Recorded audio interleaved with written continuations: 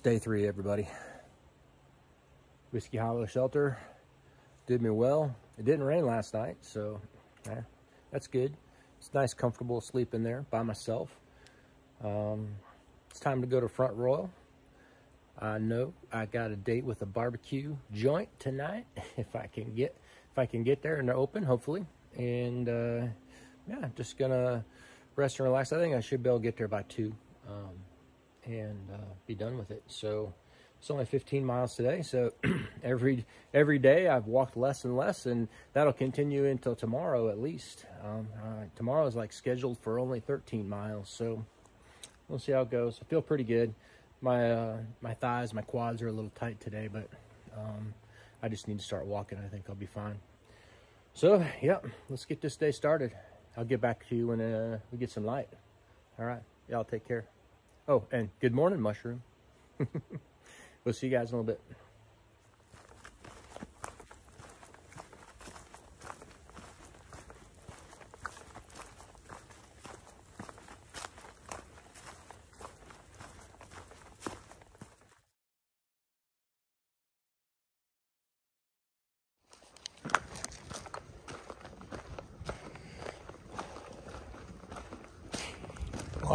Trail's been a lot nicer today than it was yesterday. Whoops. uh, mostly flattish, nice, grooming, few rocks. Pretty much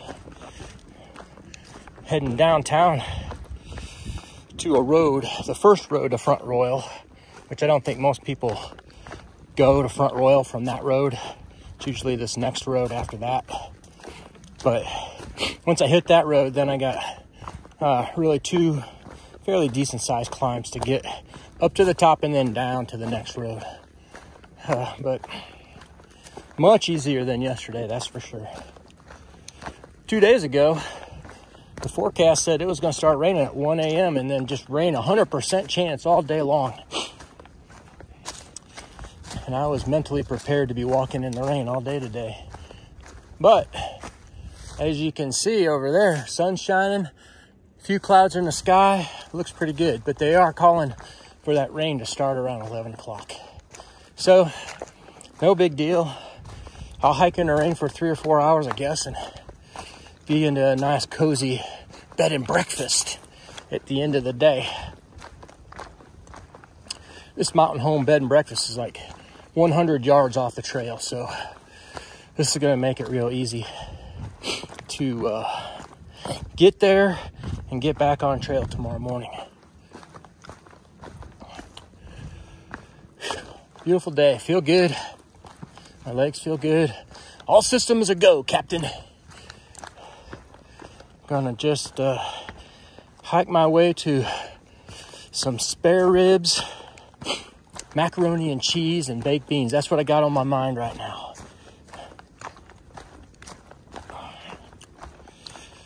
Alrighty. Maybe I'll find something cool and interesting to show you in a little bit.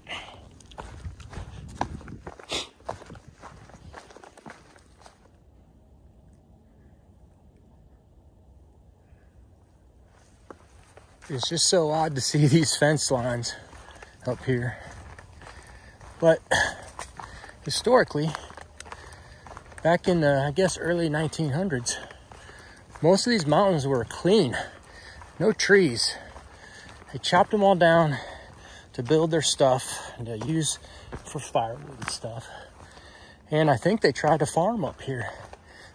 Of course, my guess is, is that they spent more time get, digging out rocks and building walls than they were actually did farming in a lot of these areas.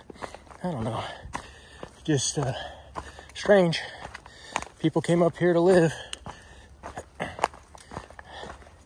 It'd be neat to look at some old pictures of this uh, of these mountains when when it was clear. I bet it it looked really odd and really sad too to me. Back before the Europeans arrived, this is all old growth forest. Big gigantic trees, I bet, everywhere. That would have been something, something to see as well.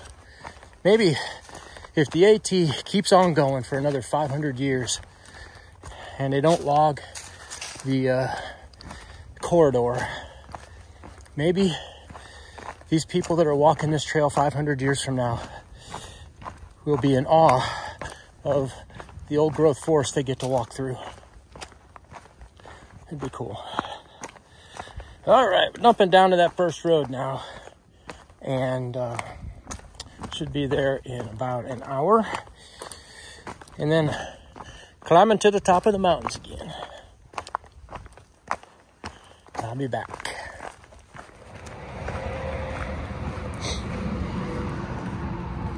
Little road walk here. That's where I came from. And this is where I'm going. What's really weird is that the trail itself is so nondescript that most of the time I'm walking, it'd be like I'm on the trail for the first time. But there's places like this that I remember distinctly because of the landmarks and other things. That bridge back there, I remember crossing it and there was a lady sitting at the picnic table. She wasn't too friendly. We said hello, but she just kind of grumbled back to us. But I distinctly remember her sitting there just eating some lunch. I don't know, she was a hiker. It's weird. All right, so uh, just gotta climb up into that mountain in front of me here. One bump, down a little bit, then the big bump and then it's down to Front Royal. Today's moving along quite nicely. The trail's a lot better than it was yesterday, and I am able to uh, walk a little faster.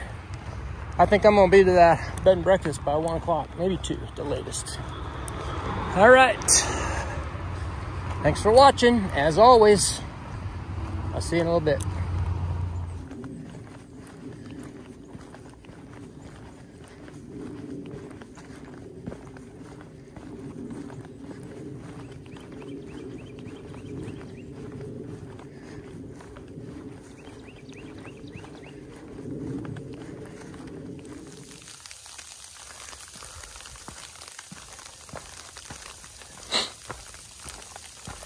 This is the Jim and Molly Denton shelter. This is one of the more famous shelters on the AT. I don't really remember the story behind it, but it's a nice shelter.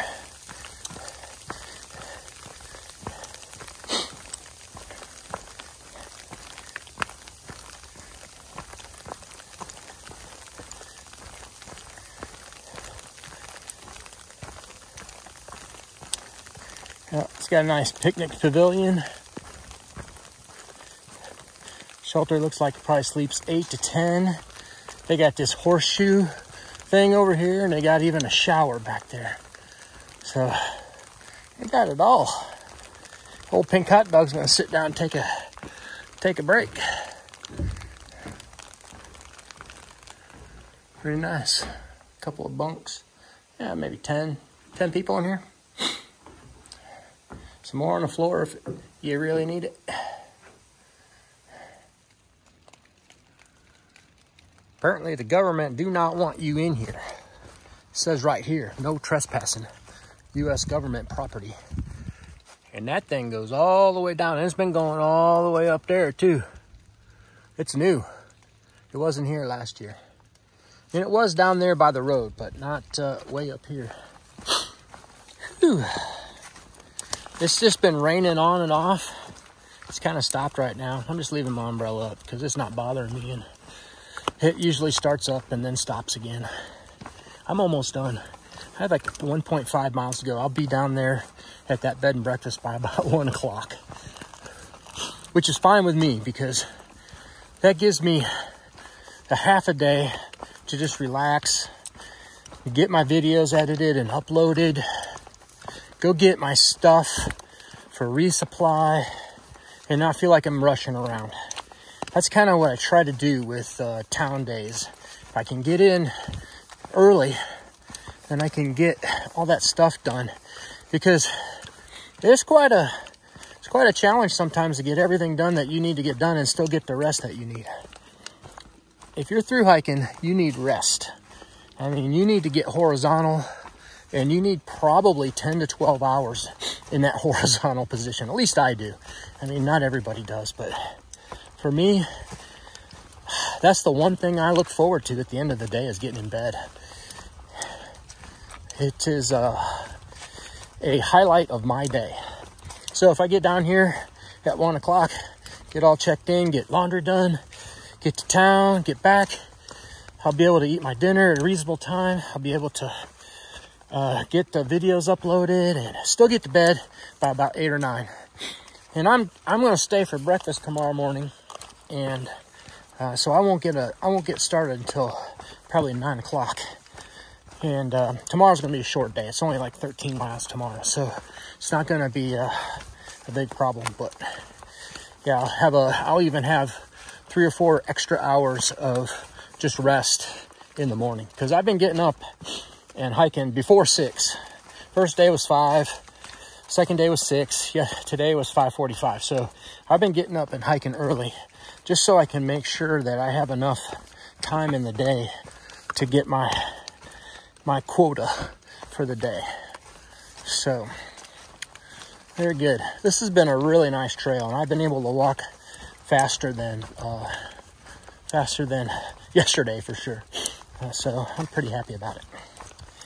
Alrighty, I'll get back with you in a little bit. Well, I made it to the mountain home bed and breakfast. Looks like I'm only staying in that giant house up there. I hope it's not haunted. Well, I'm gonna get in there and get checked in. It's only one o'clock. Crazy. I'm in the basement. I'm in what they call the game room. Pretty nice. Got me a foosball table. Unfortunately, I got Mushroom here to play. If she were here, we could play some foosball. I got lots of games to play if I want, and lots of DVDs, but this room's all mine. Pretty nice. All right, guys, I'm gonna go ahead and get cleaned up and take you into town when I get there. All right, see you. Well, I'm back. I know I told y'all I was gonna take you into town, but you have to understand it is freezing cold and raining outside right now. And they didn't get my laundry done fast enough, so I had to go in my shorts, my puffy jacket, which was okay. Um, it wasn't that bad because I knew I was coming back to warm weather, but man, it was freezing. And so I just was like, I'm gonna get my stuff done, get out of here. And uh, so I went to the outfitter and I got two backpacker meals and some rehydration salts. Uh, and then I went to the same barbecue place that Mushroom and I went to last year. It was pretty good stuff. I was hoping to get some ribs, but they didn't have ribs. They just had pulled pork and brisket. But you know what? I got macaroni and cheese and baked beans. And I like to mix my macaroni and cheese and baked beans together. That's a real tasty treat. In case you ever want to try something good, try that. And then I went right across the street to the Exxon and right into that convenience store and just bought the rest of my stuff. Basically, my breakfast, my my snacks, and my desserts and other things like that. Basically, uh, so got everything, and then um, the uh, uh, owner of the uh, the bed and breakfast brought me back, and here I am. So sorry about that. I'll do it another time. Uh, but today, I mean, I was just chilled to the bone cold.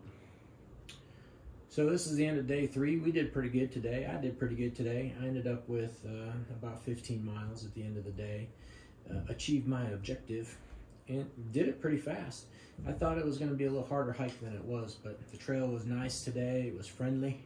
Uh, not very many rocks, and the climbs weren't too uh, too bad. Right now, climbing is my kryptonite.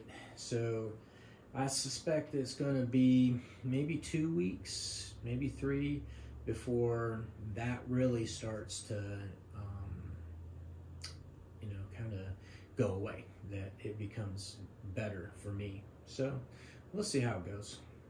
tomorrow's gonna be a short day. I'm only I'm only gonna do about 13, I think, tomorrow.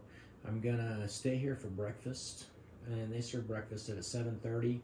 So that means I'm probably gonna get out of here at 8:30 ish, uh, and get hiking probably about then. And nicely, nice thing about this place is it's right off the trail. I mean, just come off the trail, turn turn left, and boom, it's right there. So uh, very convenient to the trail. I can could basically get back on whenever I wanted to. And then uh, it's off to the Shenandoah, as Mushroom would call it. So um, that's it for now. I am gonna get my stuff packed up and get horizontal and probably fall asleep. I'm pretty tired. Uh, it's only like 5:30, but I figure I got another hour, maybe two left before I'm gonna fall asleep. So uh, y'all take care, and I will see you next time. All right. Oh, and good night, mushroom. bye bye.